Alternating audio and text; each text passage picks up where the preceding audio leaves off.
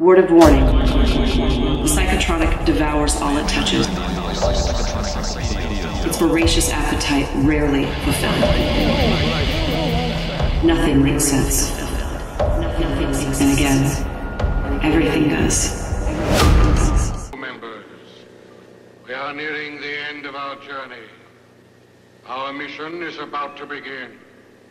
Our radar screen has picked up the target we've been looking for. Activate the radar screen. There it is.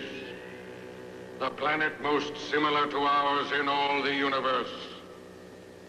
The Earth. Its atmosphere contains 21% oxygen and 78% nitrogen. Among its other properties are argon and carbon dioxide. Nitrogen is vital to us. Therefore, our object will be to capture the Earth and colonize it with our own species. Prepare the ship for an immediate attack.